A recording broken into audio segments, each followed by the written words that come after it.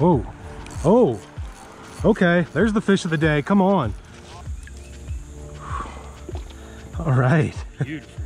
Here, nearing the end of our little venture. Finally got into a, a, a smallie that's over a pound on the top water. Midday top water. That's surprising. Yeah.